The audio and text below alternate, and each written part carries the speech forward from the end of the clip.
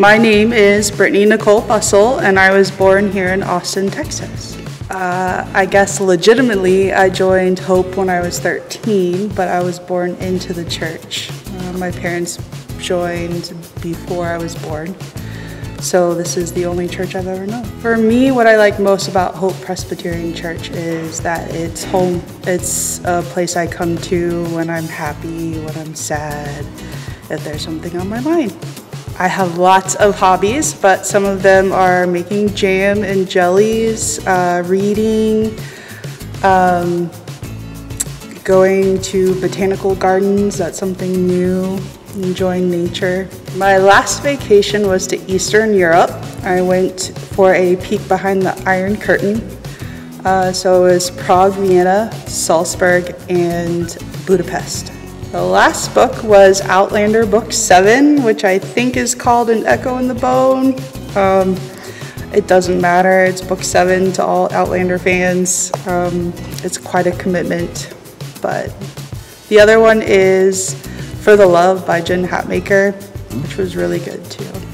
I do. Uh, my mom, Melissa Bussell, attends Hope, and my grandmother, Vivian Purdy. One fun fact about myself is that I was a competitive roller skater. So I attended competitions. I almost went to Junior Olympics, but I broke my wrist, so cut it short. if I was stranded on a deserted island, I would take my dog Brooke because she's a source of entertainment. She's quite crazy. I would probably take the Outlander series because beyond being entertainment, they have some useful medical knowledge. And if I have to be true to myself, I would also say The Rock, which I tell my students all the time because he can save you from anything. Uh, one talent that I think Hope could benefit uh, from would be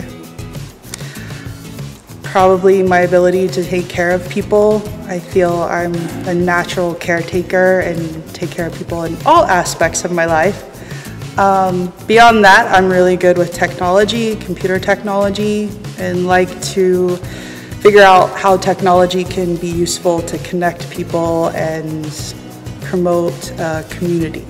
I would go on the game show uh, Family Feud.